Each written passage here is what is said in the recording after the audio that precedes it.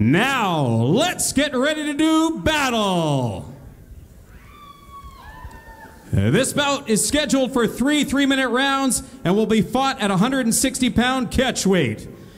This bout is also sponsored by Knuckle Apparel. It's not just the name, it's the style. Knuckle Apparel. Introducing first, fighting out of the blue corner. This man stands 5 foot 11 and weighed in 160.3 pounds yesterday. Fighting out of four directional martial arts in Chilliwack, BC. Please welcome Colton Coco Higginbottom. Fighting out of the red corner. This man stands six feet tall and weighed at 160.3 pounds. Fighting out of Titan MMA in Vancouver, BC. Please welcome Naveed Mirzai. Your referee in charge of this bout is Mr. Tony Williamson. Referee Tony Williamson here to get things started. Jeff Gentile getting us started actually here officially at the Red Robinson Theatre, Port Coquitlam, British Columbia, Canada for Battlefield Fight League and Fight Night 26. And here we go, Damon. We're going to get her started here. Making sure all of our judges ready to rock and roll. We are underway. Three three-minute rounds here, 160-pound catch weight. Higginbottom shoots in quick here and gets that single underhook on the right-hand side. He's looking for that single leg early, Damon. You know, um, though with a good base, his legs, leaned up against the cage. Yeah, he's looking to get that underhook on the left. Couple little peppering shots there. He has the beginning of an underhook under that right arm as well. So Colton using his right leg there to nicely kind of wrap up, and he's looking for that far leg. Almost had it there, and he does end up taking it to the ground. He must have felt he had something there right away because it, it did look like Naveed was giving up in a hurry, but work, hard work pays off. And Naveed back to his feet here, right back against the cage. Yeah, great job. Uh, great job by Naveed to get back to his feet there, using the cage to wall walk. You know, a lot of the time, uh, guys will try to position a fighter or their opponent into that cage, thinking that it is always in an advantageous, advantageous position. Uh, however, the wall walk is very well used now by MMA fighters, makes it a little harder to use that fence to your advantage. Though, uh, game plan was to grab the leg, get him down. Yeah, That's he's- what he's going for. He hasn't st- stood up, he hasn't separated from the get-go. That this is what he's planning on doing. You think he's got a game plan ahead. He's really looking to push it, and they're right in front of us now. Naveed uh, using a little bit of that upper body strength, throws a right knee in there, trying to keep Colton off balance here if at all possible. Colton's got that single leg locked up too, looking to trap. And he traps and gets it down. However, nice work by Naveed Mirzai to reverse that. Now they're both back to their feet. Little exchange there along the fence. Mouthpiece. Oh, Naveed takes a big right hand. He almost lost his mouthpiece just before that, too. Thankfully, he didn't. Knee to the body there, and Colton gives him one right back. Both these guys, they were both in trouble for half a second. Managed to scramble out of it. Now Oh. we're going to stand in straight for a bit here. There's some dirty boxing going on right in front of us here, Damon. Shooting for that single leg again is Colton Higginbottom. Good job here by Naveed with his left foot, trying to catch. Colton with a beautiful push pull takedown. He gets into side control. Textbook done there. A little bit of a push. You bounce him off the cage, take that little pull, get the fight to the ground. Well, this is clearly what Higginbottom had in mind from the get-go here. So let's see in the last 40 seconds or so if he can actually take advantage of this advantageous position here. He's got side control, looks to be working in, but you know what? Naveed's hanging on there. He's not giving up too much. Yeah, no, he's, he's staying calm, and you know Darwin here just behind Colton's letting him know what the next move is here, and, and you know he's not allowed to use elbows in amateur MMA, but you can see there is no rule against using that forearm to just kind of be annoying. Nice work by Naveed to get back to his feet again. Colton takes a right hand just above the ear there. Might have rocked him a little bit there, Damon. He kind of looked hesitant. Oh, that right hand landed too.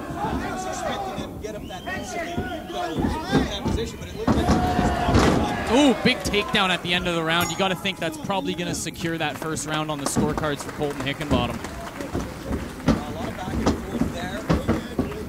Higginbottom was hanging on at least the first half of that round. Mm-hmm. Just latched onto that leg. Yeah, he wasn't letting. I was gonna say it wasn't letting go, and uh, and you know did a good job of getting that single leg, turned it into I think what looked to be uh, two, if not three, takedowns there before the end of the first round. See Darwin Douglas in uh, has to be pleased with that first round. On the other side, Ken Tran, Nabil Salame there, uh, having a chat with young Naveed, and let him know, hey, bud, you got your first amateur round of MMA under your belt. How does it say you want to be an MMA fighter? That's right. It's always interesting to see how these young guys react to it. Uh, like we said before, even though he hasn't had an amateur fight on his record, he's been in a lot of rounds. Oh, yeah. It's a whole other world, though. When you're in here in that cage door closes, the lights are on you, you know, they're hitting with some bad intentions behind it.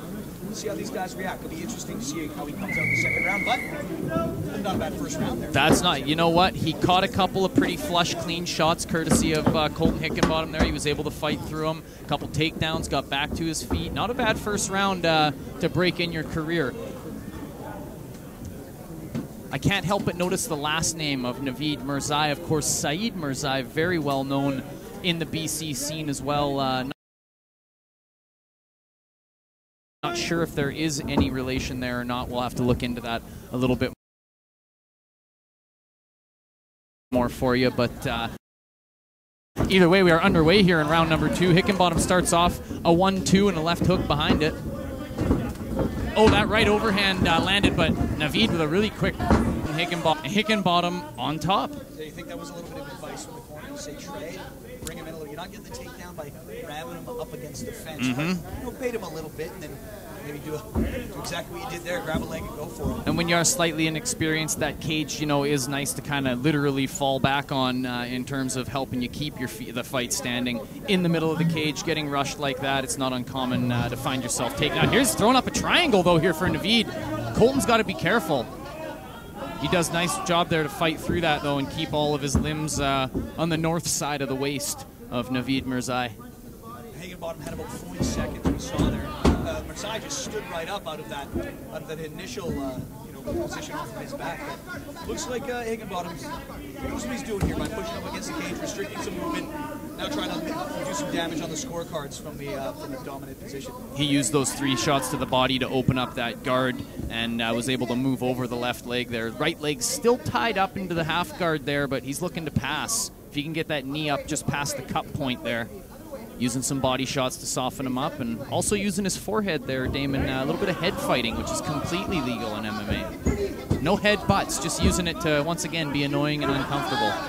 Might have a front head choke here. Oh, now Higginbottom switching to the back. Naveed's got to be careful that that arm doesn't get caught inside if he's able to get back control here. Yeah, Naveed grabbed that leg real quick there. That's not a veteran move, but a smart move by his part to prevent his, his back being taken. It might not help him out now, uh, but it was a good, smart move for him. And, and now look at it, he's got himself away from the cage here.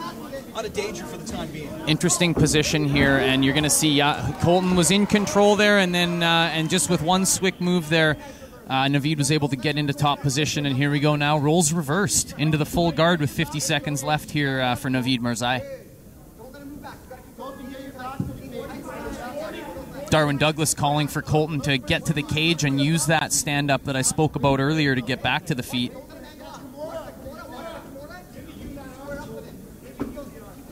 Really scoring here in the last 20, 30 seconds they've been in this spot here. Been a bit of a Stalemate. bit of a stalemate. Yeah, maybe both guys taking a breath as well. We're almost six minutes into our first fight of the night here.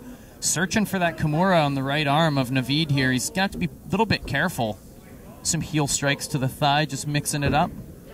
Smart move. I mean, it's not going to do too much damage to a guy, but at least you're scoring. Yep, absolutely. You want to be effectively aggressive your entire time in the cage here. Higginbottom, no, maybe there's a little bit of that amateur experience rearing its head. That's right. He's always staying active, scoring whenever he can. There's the end of the second round as it comes to a close, and uh, first fight of the night's going to head to the third round here, Damon. There we go, right? We've got a guy going into his first ever amateur bouts. He's, uh, it's where they separate the men from the boys. It's distance rounds. That's right. He's a bit tired right now, I can assure you. I don't know how sparring rounds you go through, and I'm sure he's been through a lot. This is an experience he's probably not had. the adrenaline dump, the eyes that are all sitting here, uh, you know, the hundreds, if not thousands of eyes we have on the Battlefield Cage Live, and of course being shown uh, on Facebook across the world. If you're anywhere and want to keep up with what we got going on at Battlefield Fight League Fight Night 26, you can check out the prelims on Facebook. And uh, I believe if there's enough likes on a certain post, that the main card may also be getting streamed tonight. So do your part if you'd like to see Battlefield free and live tonight. Naveed Mirzai is going to see a third round in his first ever MMA fight. Excited to see it. He responded really well. First fight coming out, the second round there, Didn't wilt. See what what I'm very impressed with uh, in Colton Higginbottom is here's a guy who I remember calling his inaugural fight with Battlefield Fight League. I believe it was in Penticton. I can't name the number of event, right around 10 or 12. Um, you know, he was he was a lot softer in terms of body type, and obviously very green in the cage. And between his body type and just the way he stayed very calm and cool, Darwin Douglas in his corner. This is the evolution of MMA in the amateur scene, and I love to see it firsthand like that. Higginbottom there, I mean, looked like he, yeah, faked a, a high kick where he bailed out last second because there was a huge right coming down the pipe at him. He used that teep very nicely there to create some distance. He's shooting in and back where we started the first round uh, in exactly the same spot along the cage. Yeah, it's a bit of a carbon copy here. If I'm, uh, if I'm the Vietnamese, uh, I'm not going to want to be here. I know I need to score a few more points. I don't want to just spend the time in the first part of this round defending the takedown. Yeah. He knows he's got to get some work going. He knows he's got to separate. Easier said than done when a guy's got a death grip on your upper thigh. Absolutely. He's, he's got a little bit of a standing choke here. I'm not sure how well his hands are clasped, if at all, but it's definitely a little bit uncomfortable here. You got to think that he might be in a position, Damon, where he does have to finish this fight. Uh, I, I could see a world where those two first two rounds went the way of Colton Higginbottom. Oh, big knee to the body there, though. That looked to buckle Colton just a little bit there. But again, with the takedown, not quite able to reverse there was Navid. I just committed to a couple of knees there. Higginbottom took advantage of his changing body position, uh, standing up a little bit straighter, timed it perfectly to pull into the guard. But still, if I'm Mirzai, I'm thinking of scoring from every possible angle. Yeah, we're seeing from this angle, uh, Damon. I'm not sure if the camera's picking it up, but some red swelling on the left leg of Navid Mirzayan as well on the, excuse me, left side of the rib cage as well. So some of those uh, shots, as you say, scoring and landing very, very nicely for Colton Higginbottom.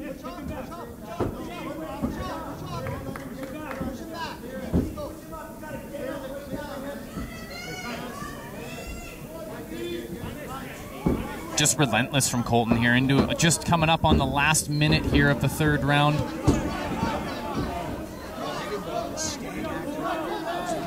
He's about to get double legged here if he's not careful. Doing a good job with that left foot on the knee. Just trying to tie up that leg. Using the block. Great job by Colton Higginbottom here, avoiding that takedown. Looking for the double leg here now, though, is Navid. He might have it. He's got just a couple fingers clasped and he's looking for it. Great job, though. Colton Higginbottom able to stay on his feet. It's great from Colton Higginbottom. Using leverage against his opponent.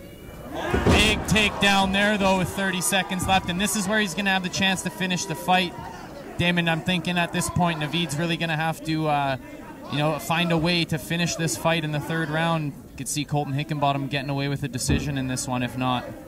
Higginbottom's just hanging on. He knows he doesn't have a lot of time left in this round. He's not locked in that guillotine at all. He knows it, but he's just hanging on here for maybe for daylight, but just end this and uh, probably walk away with the victory.